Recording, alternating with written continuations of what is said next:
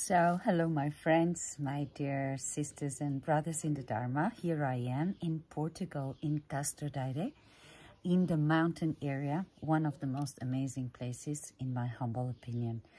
And uh, I'm sending this message first to wish you all a very happy Dakini Day, very special Dakini Day.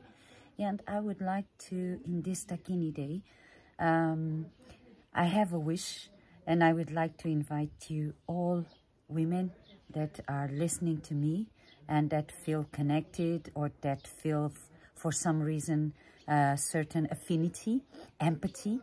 I would like to invite you to send me a private message in case you want to do part of a small group, start a small group of women to discuss some important ideas and exchange some point of views um, in some online meetings in order to create a group all over the world um, to expand the critical thinking and can reach to a point that we can be useful and begin to practice in the fields, uh, real activity, genuine activity, engaged in causes, not only in practice or reading the text or this and that, but helping each other as women.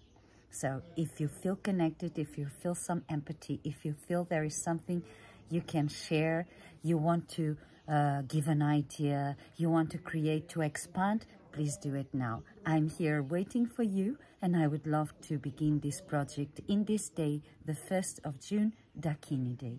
It's very auspicious, so I really would like to request you, ladies, please let's cooperate and let's be the change that we want to see in this world. So send me a private message and I will be delighted to talk with you and to begin this movement, this group. We'll not call a movement, it's just a small group uh, that I hope one day can be a big, big group, uh, cosmos, uh, planet group that can really begin to bring wisdom to the path and wisdom to humanity.